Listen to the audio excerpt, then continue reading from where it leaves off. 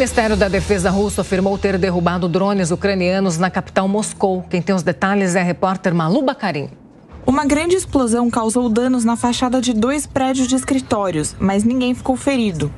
Um dos edifícios abrigava três ministérios do governo russo. Segundo a mídia do país, um dos aeroportos próximos de Moscou foi fechado e os voos foram redirecionados para outras cidades.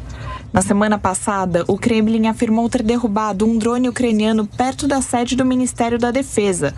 A capital russa foi alvo de raros ataques no ano passado, mas foi atingida por diversos drones desde o início de 2023.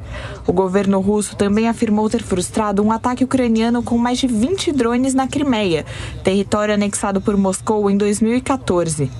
Kiev declarou diversas vezes a intenção de recuperar a península e intensificou os ataques no local nas últimas semanas. Autoridades russas afirmam que isso não seria possível sem a ajuda militar enviada pelos Estados Unidos e aliados da OTAN.